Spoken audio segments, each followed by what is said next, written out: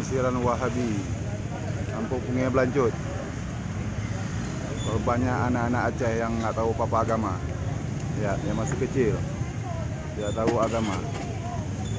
Mendengar omongan manis Wahabi. Kami telah mengusirnya.